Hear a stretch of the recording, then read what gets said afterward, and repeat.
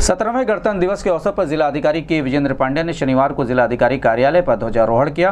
ध्वजारोहण के बाद जिलाधिकारी ने कार्यालय परिसर में उपस्थित हुए सभी अधिकारी, देश के आज़ादी में शहीद परिवारों के सदस्यों, कर्मचारी और नागरिकों को देश के प्रति कर्तव्य निष्ठा की शपथ दिलाई। इसके बाद स्कूली छात्र छात्राओं और दृष्टिबाधित छात्रों ने कार्यक्रम प्रस्तुत किया। जिलाधिकारी ने इस दौरान देश की आज़ादी और गणतंत्र का अर्थ बताया। इस अवसर पर विभिन्न विभागों के संबंधित अधिकारी, कर्मचारी, विभिन्न विद्यालयों के छात्र छात्राएँ और नागरिक मौजूद रहे। और फिर राष्ट्रीय एकता का संकल्प दोहराया जाएगा।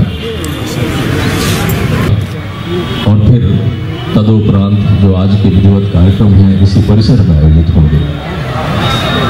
जिला प्रशासन के सब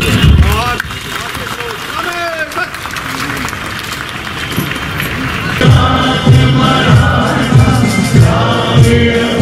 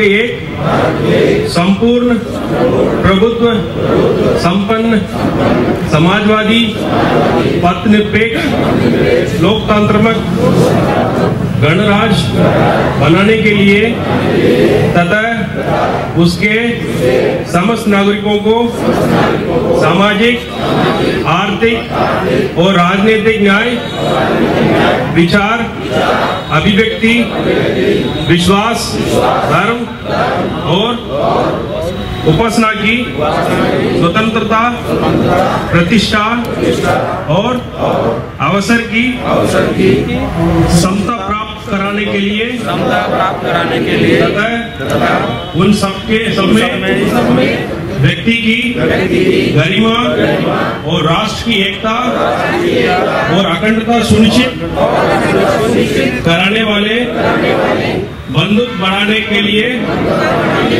दृढ़ संकल्प होकर आपने इस संविधान सभा में हित द्वारा इस संविधान को अंगीकृत अधिनियमित और आत्मार्पित करते हैं।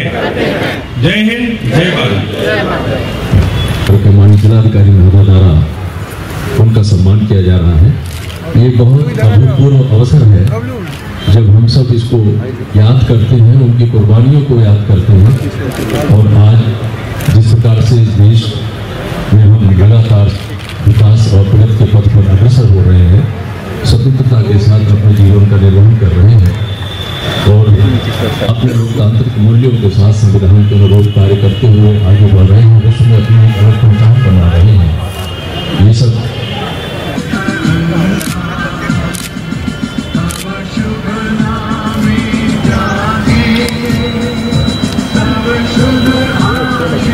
शहरों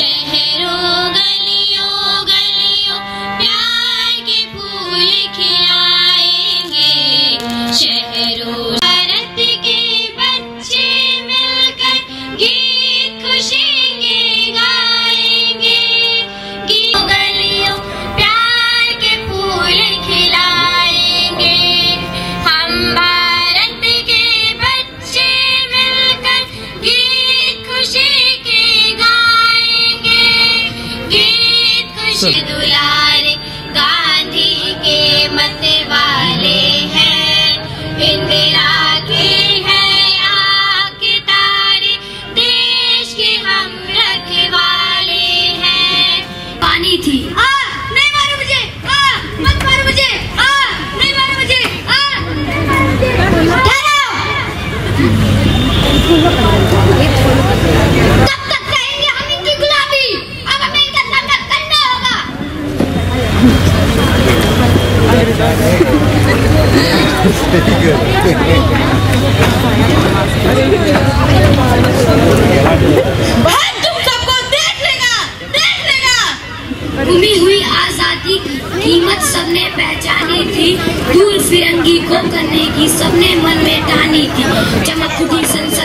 में।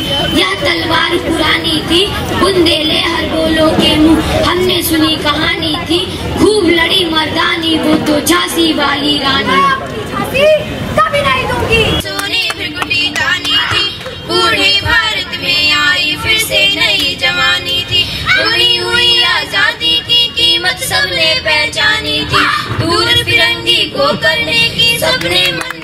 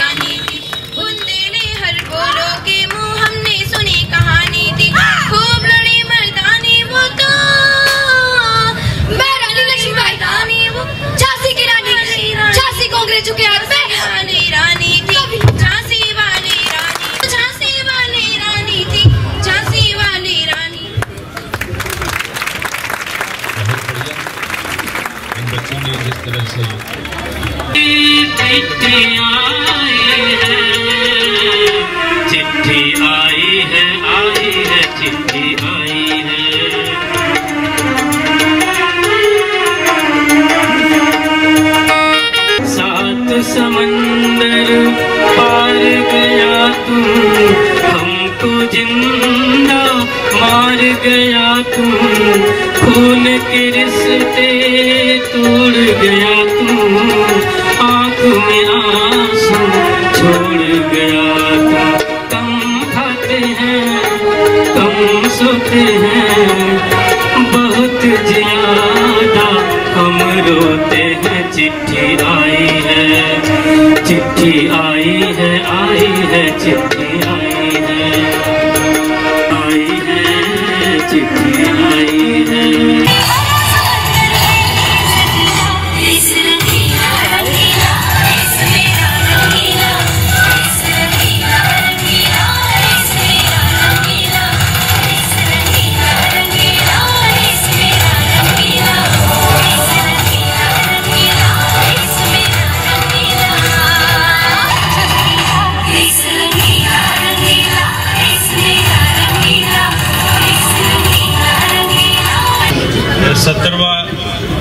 गणतंत्र दिवस अवसर पे ये आए हुए सभी साथियों,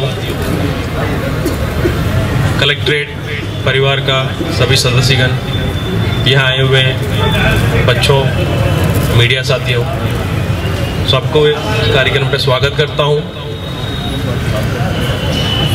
सत्तर वर्ष हम लोग गुजर चुके हैं, लोकतंत्र होने के बाद। हम हम लोग दुनिया के सबसे बड़ा लोकतंत्र देश है।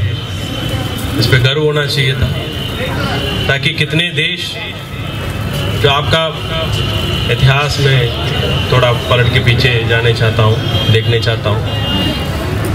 ये जो आज़ादी की लड़ाई, वो जो हम लोग के सामने जो बच्चे भी पेश किए, अठारह सौ सत्तावन से लेके लगातार डेढ़ सौ साल 200 साल के बाद हम लोग को आज़ादी मिली है। लगातार लड़ने के बाद। उस समय से डेढ़ सौ साल 200 साल हम लोग एक ही चीज़ का लड़ाई था, लोकतंत्र होने का। ताकि हम देख चुके हैं, भारत में कितने भी लोग रूल रूल करने के लिए आते थे, सत्ता करने के लिए आते थे 200 साल तो अंग्रेज़ी ने सत्ता किया, उसके पहले मुगल राज ने सत्ता किया। उसके पहले विभिन्न छोटे छोटे राज लोग अफगान से, इधर से, उधर से राज किए। उसके पहले ये पलट के देखेंगे हम लोग इंदस वैली में और कैसे कैसे रहे हैं। वो हमेशा हम लोग लोकतंत्र मुल्क रहे हैं। उसके बाद फिर दोबारा हम लोग आज़ादी के बाद ये फिर लौट के फिर हम लोग लोकतंत्र बनाने के लिए बहुत लोग प्रयास किए। उस समय में जो सरकार के सामने बहुत सारे ऑप्शन थी। ताकि आसपास उस समय में चीन था, रशिया का रेवोल्यूशन चल रहा था। एक विकल्प है वो, चीन जैसे, रशिया जैसे हो जाएगा तो फिर देश बहुत तेज़ी से बढ़ जाता है आगे। ताकि निर्णय लेना बहुत आसानी होता है। पाँच पाँच साल तो सरकार पलटने का कोई मतलब नहीं रहता है। पचास साल, सौ साल एक ही सत्ता में रहते हैं। फिर तो बहुत तेज़ी से जो भी चाहता है, जो सत्ता में आदमी, उसी हिसाब से विकास हो जाता है। बट बहुत सोच, विचार के बाद सभी लोग एक ही मत से तय किए हम लोग तेज़ी विकास से बहुत ज़रूरी है, आज़ादी। वो भी जो जनता का सहभागिता बिना उसका जो सरकार बनता है, और जनता सरकार का बीच में समन्वय नहीं है तो फिर वो सरकार सरकार मतलब नहीं था। उसके बाद सोच विचार करके बाद फिर भीमराव अंबेडकर जी ने आज जो तिथि हम मना रहे हैं, सत्तर साल पहले कॉन्स्टिट्यूशन बनाया ऐसे बनाया है तीन सौ पचानबे धाराएँ उसका अंदर। एक एक गिने चुने तमाम देश से लेके हम लोग का दिए हैं। इसमें तमाम प्रोविज़न है, कहीं जापान से लिए हैं, अंग्रेज़ मतलब यूएस से लिए यूके से लिए। तमाम देश से जो बेहतर उस समय का था, उसी के हिसाब से बनाया है। इसलिए इतने साल के बाद भी हम लोग मज़बूत है, आगे बढ़ रहे हैं। बट साथ साथ इस पर हम लोग भूल जाते हैं। इस पे हम लोग तो तैयारी के समय बहुत डिटेल में पढ़ते हैं संविधान के बारे में कितने धाराएँ क्या चीज़ है। कुछ धाराएँ बहुत प्रसिद्धि है। वैसे जो मान लीजिए हम लोग का जो गणतंत्र करते हैं प्रधानमंत्री राज्यपाल महोदय राष्ट्रपति जी और जो कितने लोग उन लोगों कैसे चुनना है कैसे सत्ता में आना है और उसके बाद संशोधन के बाद जो पंच, पंचायती राज चालू हुआ है प्रधानी चुनाव है प्रधान के नीचे कौन कौन रहते हैं प्रधान का क्या अधिकार है। फिर यहाँ का मेयर साहब है और, नगरी लोकतंत्र का जो संगठन है उस पर कौन कौन है सारे चीज़ उसी पे है। वो एक तरफ़ भगवत गीता माने बाइबल माने कुरान माने वही हम देश का एक ही एक पुनीत किताब है उसी के हिसाब से हम लोग का चलता है। उस पर तब सभी लोग पूछे थे भीमराव अंबेडकर जी से ये आपका जो आपने बनाया बहुत अच्छा बनाया है इस पर जो कौन सी कौन सी चीज़ आप बहुत पसंद करते हैं कौन सी चीज़ आपको अच्छा लगता है जो हम लोग का संविधान पे? है ही भाषा में बताया तो मैं तो धारा बत्तीस है उसको बताता हूँ। बहुत महत्वपूर्ण है। वो क्या है? वो हम लोग का मूलभूत अधिकार है। मूलभूत अधिकार का कोई अहित होता है तो तुरंत हम लोग रिट के ज़रिए से सुप्रीम कोर्ट, हाई कोर्ट जा सकते हैं। फिर पूछे थे इस पर क्या खूबी है? तो फिर ठीक है, मूलभूत अधिकार तो है ही है।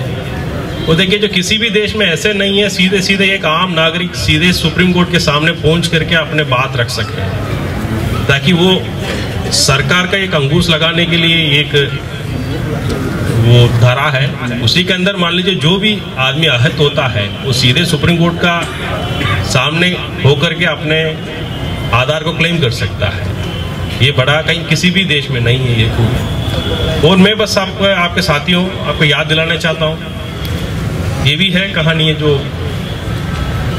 एक दिन तो पूछे थे जवाहरलाल नेहरू जी से पत्रकार लोग ये जो अब यहाँ भी जो नाटक कला कितने हुआ है, उसी पे बार बार हम ज़िक्र करते हैं। भारत माता कीजिए भारत माता तो जब भारत माता क्या मतलब है? भारत माता क्या है? कोई भगवान है, कोई मूर्ति है, कोई पूजा करने की चीज़ है, क्या चीज़ है? न्यास के बताया भारत माता मतलब ठीक है, ज़मीन भी है, मिट्टी भी है, उससे बड़ा है, हम लोग हैं नागरिक है। एक देश नागरिक से बनता है। नागरिक कैसे हैं, नागरिक का हैसियत कैसे है, उसी हिसाब से उसी देश का सम्मान मिलता है, मान मिलता है। एक चीज़ याद दिलाना चाहता हूँ, तब हम लोग अंग्रेज़ से आज़ाद हुए उस समय में हम लोग का और अमेरिका का डॉलर का रेट बराबर था, यानी भारत का एक रुपया, अंग्रेज़ी का एक डॉलर का बराबर था। आज एक रुपया हमारा मतलब उनका, यूएस का एक डॉलर है, हम लोग का बराबर सत्तर रुपया का, उससे ऊपर है, बहत्तर रुपया के आसपास है। वजह क्या है? कहीं ना कहीं हम लोग पूरे इंटरनेशनल दौड़ पे कहीं पीछे रह गए उसका तमाम कारण हो सकता है। एक चीज़ याद दिलाना चाहता हूँ। देखिए हमेशा हम लोग अधिकार के बारे में और दूसरा का उंगली दिखाते रहते हैं ये कमी है वो कमी है। वो कभी भी पलट के नहीं देखते हमें क्या करना है देश के लिए?